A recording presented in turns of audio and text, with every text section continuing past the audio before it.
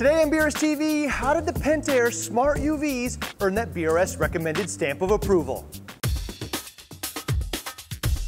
The BRS recommended tag means either they're a great value at a price point or does something truly unique. In this case, Pentair UV sterilizers earn that best in class designation. So good that they're currently the only large form factor UV sterilizers that we choose to stock. There are two elements to that designation. The tool is capable of doing the desired task and they make it easy to achieve that desired result. First, Pentair is a global thought leader in everything ranging from industrial water purification, household drinking, aquaculture, and disinfection. So they're not just hobby tools, but tools used by a wide range of industries. In our case, they help control undesirable pests in the reef tank as designed, meaning they help control or even better prevent the initial outbreak or spread of many algae, bacterial blooms that cloud the water, bacterial slimes, cyanodinos, and used properly, I strongly believe a component of an overall approach to protecting your fish from common fish disease and parasites. So outside of the tool producing the desired results, it also has to be reasonably easy to select the right one and set it up correctly.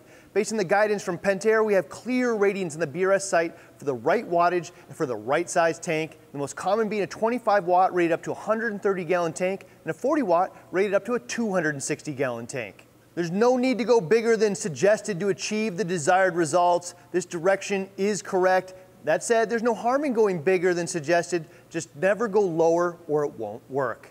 This part is one of the biggest differentiators. There's very clear guidance on flow rates to the intended purpose. Flow rate is both contact time with the UV light as well as how many times a day the water passes through the sterilizer. For example, if your goal is to protect your fish from disease or parasites, the flow rate should be about 79 to 131 gallons per hour on a tank up to 131 gallons and stated on the 25 watt UV sterilizer.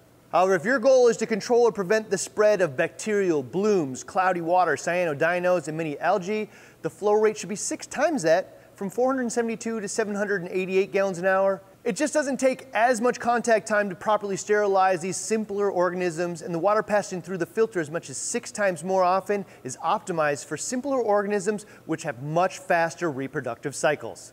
And that flow range of 79 to 131 or 472 to 788 being based on how dirty your water is and the ability of the UV light to transmit. If you regularly use activated carbon and have pristine water clarity, the higher flow rates will produce the best results. If you don't use carbon and do fewer water changes, your water probably has some yellowing pigments in it, and the slower flow rate within those ranges for the intended use is probably wise. So this brings up the question of how do you set the sterilizer up if you want to achieve all of these goals when they're two flow and turnover rates? And the answer is you can't. You have to pick one goal and set it up for that. So the bacteria and algae flow rates won't protect the fish, and the protozoa and fish parasite flow rates won't filter the water fast enough to prevent algae or bacterial issues, so you have to pick your primary goal to achieve it.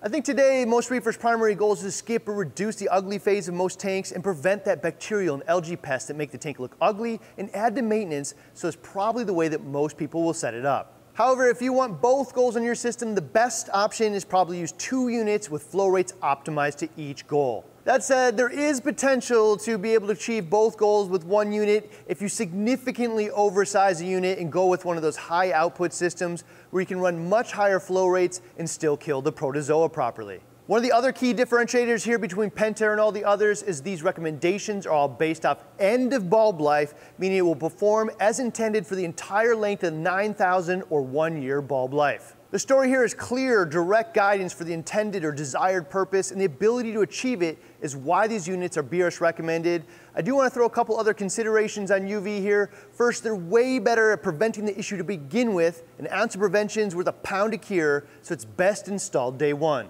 You can install them when you already have an issue, but in this case, it'll be part of the pound of cure, not the entire cure.